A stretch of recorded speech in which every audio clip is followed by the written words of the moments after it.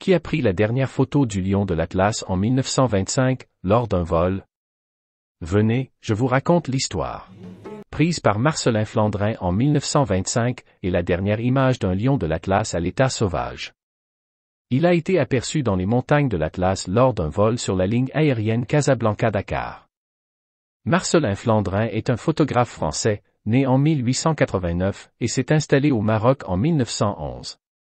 Pendant la Première Guerre mondiale, il sert dans l'armée de l'air française et termine comme observateur aérien, en envoyant des prises de vue des batailles. En 1926, il suit le sultan du Maroc, Moulay Youssef, lors de son voyage officiel en France, et réalise un ouvrage de luxe retraçant cet événement. Il a également photographié la vie quotidienne des Marocains, les rues, les marchands et les musiciens, dans leurs costumes traditionnels.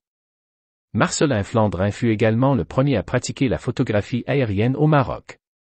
Il est décédé à Casablanca, en 1957. À la prochaine.